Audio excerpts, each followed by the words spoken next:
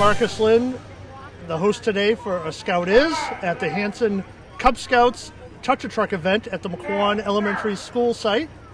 Um, I'm here with Megan, and she's going to talk a little bit about what the event is for. Um, so, do you want me to hold this? Sorry.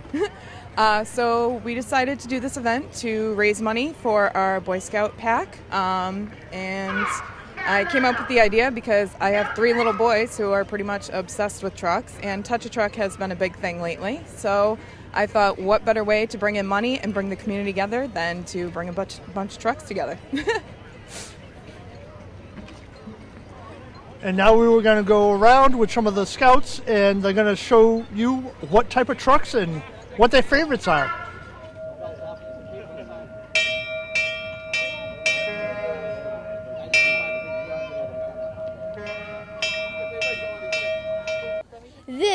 The back seat of the fire engine, where the firefighters sit on their way to, to, to an emergency. These are air packs, where, where firemen put them, they, they store them in the seats, so when, so when the firemen get to the call, they can just throw it around their back and release it and run out into the fire to hopefully save as many, to save as many lives as they can. There's also a fire jacket here, hooks there. There's radios, three radios up here, batteries and chargers for any power tools they may, they may, we may use. Spare gear, we have helmets, boots, boots and pants are right here combined. Um, we have an, another air pack over there, and we have some more fire gear over there, and we have a seat there. That's pretty much the back seat of the fire truck. This is the passenger side. On the passenger side, you may think it's very boring over here, but it is not. Right here, there is a bell. We also have another air pack back here. Caution tape. This, I can, now I should be able to tell you exactly what this is. This is. Oh, it's um an infrared camera. I'm pretty sure. Yeah, it's a it's a infrared camera. We have air tank right here. We have sure for a horn. Not positive. Like I said, loudspeaker here. Standard 12 volt plug. Rescue wipes. Um, street listing book right there. I forgot to tell you about that. Um, handle. There's a sun visor that can go down if it's too sunny. You need to see. Um, and this, I, I, I, I'm honestly not sure what this red button is. I don't think you guys can see it, but there, there's also containers right here. I can, I can open one up right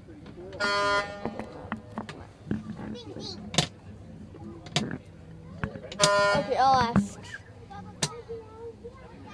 So that's the front seat of engine one. This is where you hook up the hoses to put out a fire. Right here, some of these, this one is, these two are to let water out. This one's for a smaller hose, this one's for a bigger one. This one is for taking water in. Because cause if your tank's low and you're running out of water and there's a fire hydrant nearby or a pond, eh, you hook up those, these black things up here to it, you put them in, and you turn this, which opens a valve, which lets water into the tank, and then it comes out, and then it comes out of these. And there's also a cabinet. There's also a cabinet right here. There's a air hose right there. There is also a bunch of hoses right here. Also a bunch of hoses right here. You can see.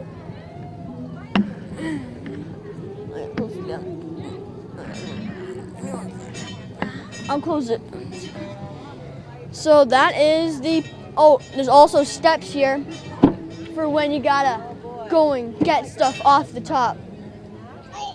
And that's the pumping side of engine. That is this side, the pumping station of engine one.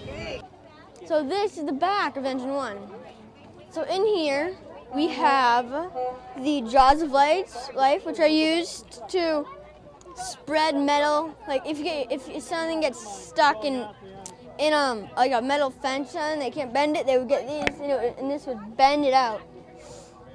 There's a, a big engine. There's an en- your hydraulic. There's just some sort of engine in there that moves the forks. Maybe slow, but it's powerful. And then over here, there's hoses. That's what powers this tool. And this, these are cutters. These can cut materials when you can't bend them. And this is the hose that powers that. And then this is a banger down here. You bang with that. Um, saw size crowbar right there. And there's steps that fold down right here. Just fold down right here. And you go up. And you. And there is hose under here. There's big yellow hose. There's a lot of hose. There's there's hundreds of feet of hose in, under there to fight big fight big house fires. Mhm. I think I'm not positive. There's also a water cannon on the top. You probably can't see it, but there is, there is a water cannon up there uh, that fire, firefighters go up and they spray water on big fires if it's too if they can't get close enough with just hoses. They'll take the truck in closer and have the truck and have the truck go on the truck and, and spray water onto the fire since it's too dangerous to go in close with with with, with, the hoses I showed you a couple minutes ago. And that is the back of engine one. Oh wait, no, I forgot something. Let me get down.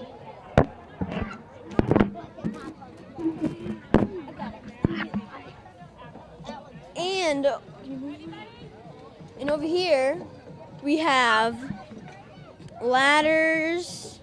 We have pullers for these are for stabbing holes in houses so there's ventilation so smoke can get out. And these are ladder ladder feet too. And that is the back of engine 1. And this is the, the, the main pumping side of engine 1. We have the, this shows you how much water you have in the tank. You have same thing I told you last time. This hook up giant black pipe to it so you can get water from fire hydrants or ponds or lakes. Uh, hoses for putting you connect these you connect hoses to these. And these are this is for the water the water cannon I was talking about on the roof. This is how you turn that on. There's foam for when it's a gas fire. You don't want to use water. You use foam so it, so it doesn't explode. This is how you open up the valves.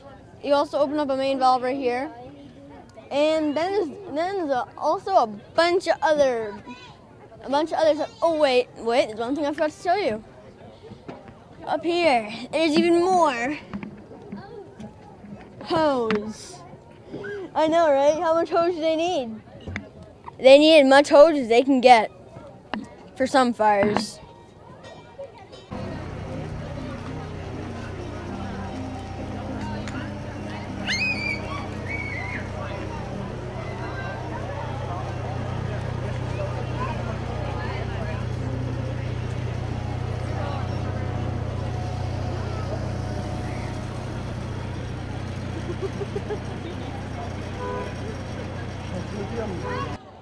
So this is the tech team's collapse unit. And since I don't know much about this unit, my, I, my friend Kevin here is going to be doing the tour. So I'm giving the mic to him, and he's going to sh- show you all about the, this amazing truck. Well, thank you, Jack. We have here is this is the Plymouth County Technical Rescue Team's collapse unit. This truck will go to any type of large-scale incident, any type of collapse, building collapse, trench collapse, parking garage collapse, anything of that nature. We have tools on the truck that'll get you into anywhere, no matter what the material is, be it steel, wood, concrete. And starting on this side of the truck, we have this is our electrical cabinet.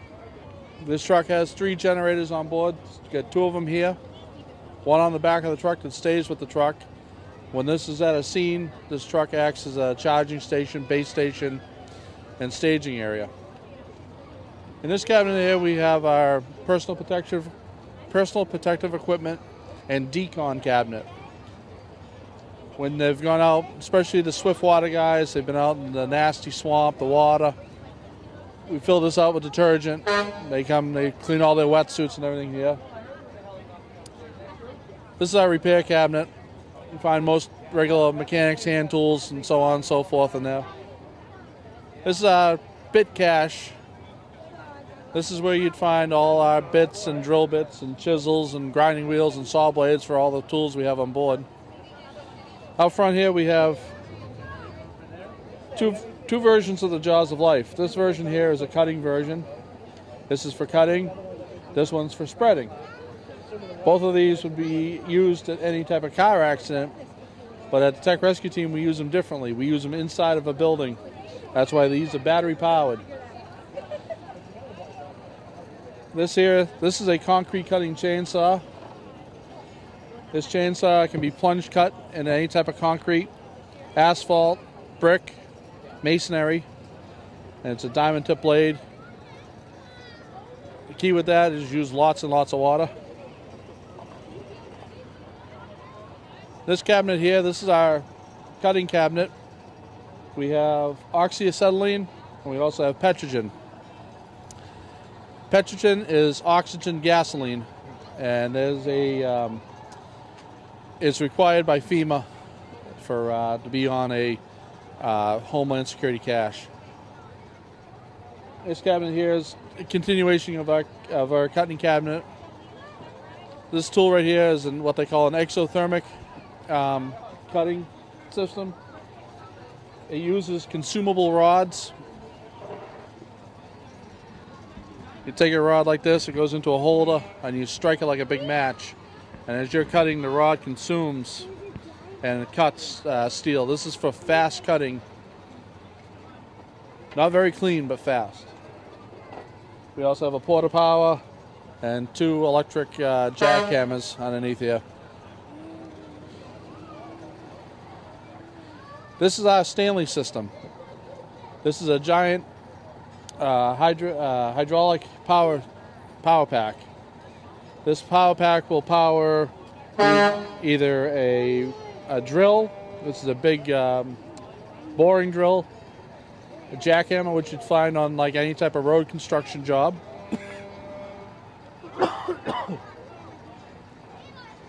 Another jackhammer, another concrete cutting chainsaw. In here, this is our hilt, what we call our Hilti cabinet. All these are like hammer drills and chipping hammers and small electric jackhammers. This cabinet here, this is our search cabinet.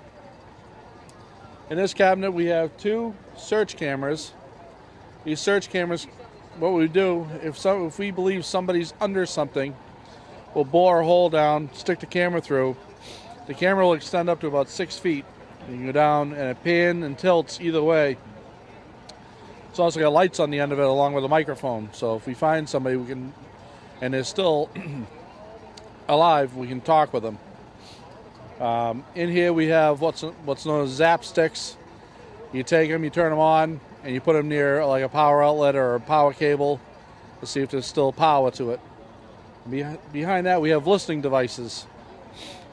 The listening devices get set out in a grid grid pattern, and they're very sensitive. You can hear somebody screaming, scratching, knocking, banging under under a building or under a whatever, and they're very sensitive. And what you do is as you're listening, it comes out on a digital display, and the stronger the stronger signal, you start triangulating all the other ones. It's a set of four of them, and you start bringing them in, bringing them in, and bringing in, and the louder it gets, the closer you're getting, and that's how you triangulate where they are. On the other side of the trail is mostly shoring, uh, lifting, and uh, wood cutting on the other side. Uh, we carry what's known as Paratech. Paratech will go into a, we would use on a compromised structure to um, hold it up. We create a create a, a wall and attach it to the, the compromised wall. So it make it, I mean, it's still dangerous to enter, but it makes it a little bit less dangerous. So, and um, this is uh, this is the collapse unit.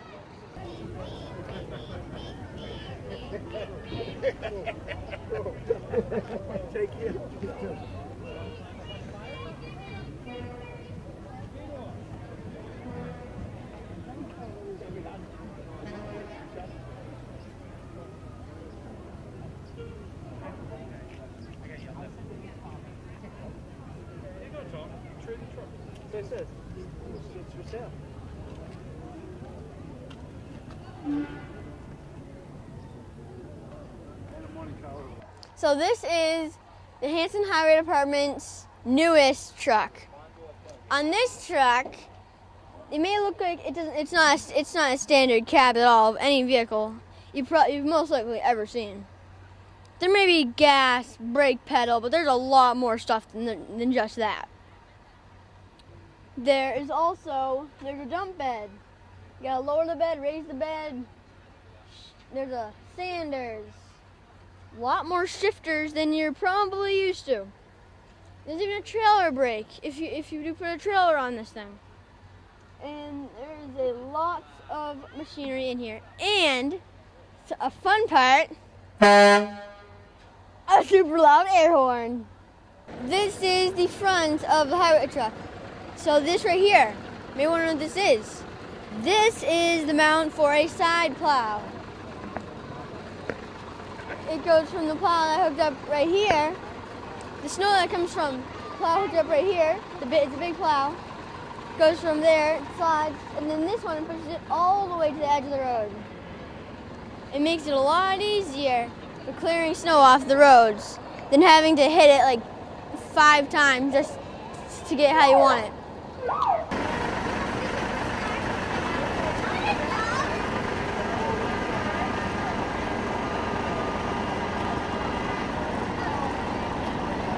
This is Hanson Highways, our uh, one of our newest vehicles.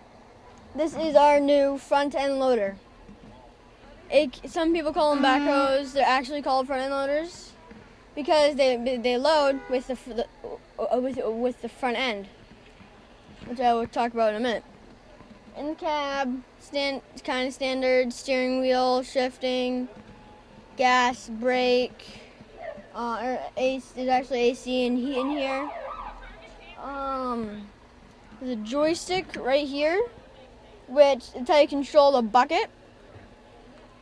Uh, there is lights up here. Those are that is temperature control, radio, mirror. There is windshield wipers, uh, phone holder, GPS system, radio.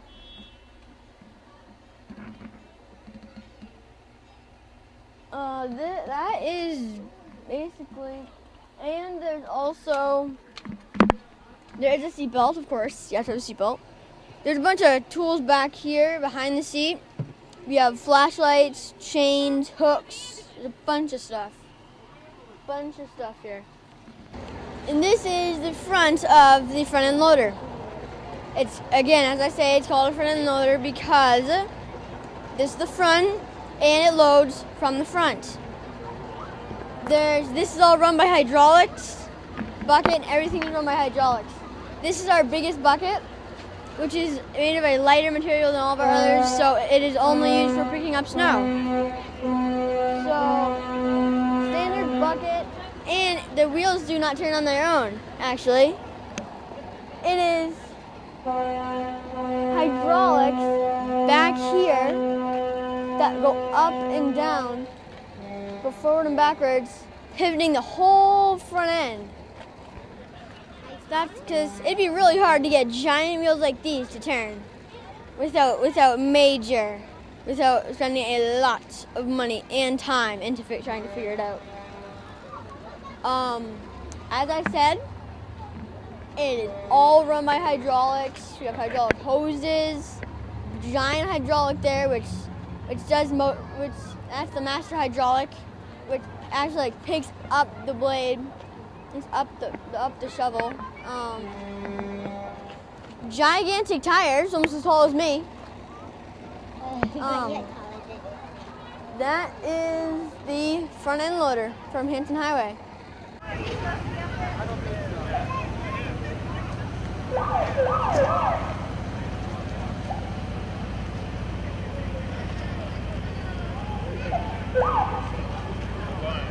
So today we're at the Whitman Hanson, Whitman Hanson Community Access Production Vehicle. And I'm with Ryan here and he's gonna give you a tour, you and me, a tour of this this vehicle. Yeah, let's go inside. Okay, so we're here in the truck. As you can see, all of our equipment around us. Um, we'll start with the audio board over here. So this controls all of our audio. We have a, a player that plays music out of this. So you can play music through the board. Um, this is our switcher. So this controls the video going out to the TV here. Um, we have different stuff that we can pull up on the preview monitors. Do camera for now. We have some fo football game footage. There's a bar here that'll that'll fade it between preview and program. So if I put this on program, we can fade between the two. This is all of our graphic stuff over here. We have a, a, a replay system here that'll do replay. We have our digital recorders in the bottom here. All sorts of different um, camera control units that control uh, the brightness of the cameras and different aspects. And just all sorts of bells and whistles, anything to get your video production needs met.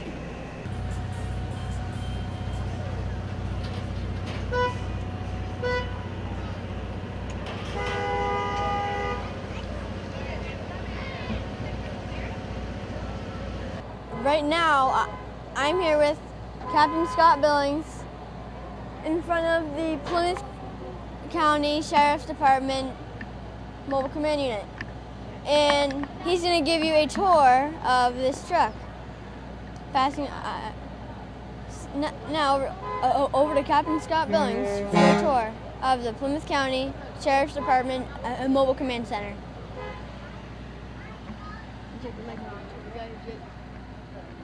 So if you'd like to go inside, this vehicle is available to any of the local municipalities in Plymouth County and beyond, the, certainly the 27 towns and uh, cities and towns in Plymouth County, uh, to support local police, fire, EMS incidents.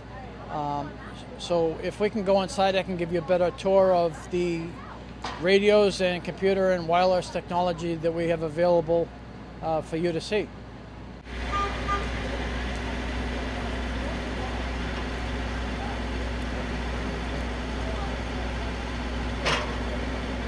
Okay, so inside the vehicle, what you're going to see is a series of two-way radios and wireless components for both, uh, obviously, computer technology, as well as the cameras that are on the vehicle. And really, what the mission of this vehicle is primarily for is to support command and control. So any incident commander can request this vehicle uh, 24 7 365 it's available um, and typically what would happen is the incident commander or their staff would be situated in the vehicle and maintain uh, radio contact to their staff in the field. Um, typically, those are for longer duration incidents, uh, whether scheduled or unscheduled incidents and events. And what these bank of radios that you see here are on different frequencies to support the local public safety agencies, whether it's police, fire, EMS, uh, highway, uh, DPW, water department, uh, harbor master, uh, certainly air assets as well. Um, uh, and as you can see from the rear of the vehicle, there are two fixed uh, cameras on the mast. The mast is approximately 50 feet off ground, and we have full pan, tilt, zoom capabilities on those cameras to give the staff inside the ability to uh, visually uh, see the incident at a safe distance. Um, so again, uh, the the real value of the vehicle is to allow for the command staff to come in out of the elements, whether it's a perhaps a cold day, uh, a rainy day, or, or whatnot, um, to be in a climate controlled environment uh, to support their mission.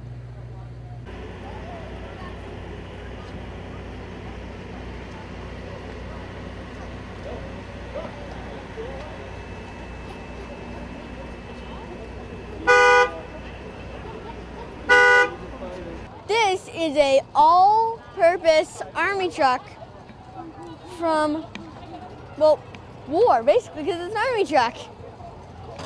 This army truck is has a big flatbed. This one is designed to transport people. There are many other ones that are designed to, to transport weapons, missiles, vehicles. They transport everything. They make vehicles that transport anything. That's how that's how much the army depends on their on their trucks. Up here, towards the middle of the truck, there is a giant spare tire. Yes, there has that. Sometimes the tires do indeed go flat. Doesn't happen much because they're such heavy-duty tires, but sometimes they do go flat. And there's benches here. There's benches here for people to sit on. They, they fold up and down like that. I'm not gonna do it right now. And that's the back of a all-purpose a- a military truck.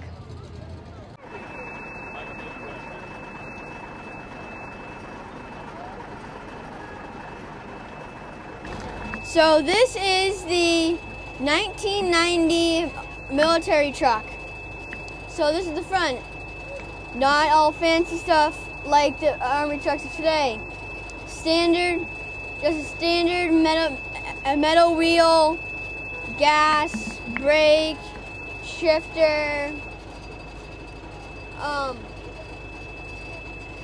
standard windshield wipers. The windshield wipers are ran off of small, these small motors. Um, heavy duty, heavy, heavy duty me- metal doors. Um, honestly, it's a pretty awesome truck. It's, an amazing, full-purpose 1990 military truck.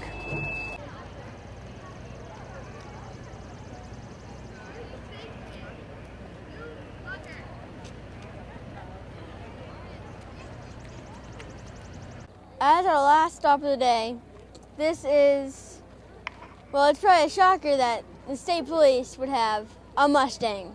But yes, they do. And here it is. It is a Mustang. I cannot get any of the details about it because it's classified. Even I don't know. Isn't that a shocker?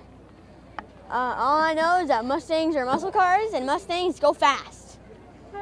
That's most likely why they why they chose a Mustang because they're fast and and they look awesome. We're down at Sullivan Sullivan Tires Sullivan Tires truck, and as you can see, I'm in a giant tire. Holding up the tire is a claw that, that puts tires on giant tires like this on vehicles. And Sullivan and and who I mentioned uh, that, that this is Sullivan Tires truck. And and they most likely brought the tire because uh, kids will kids will really really like playing in it. And that is a giant tire. And this that's the end of a Scout is.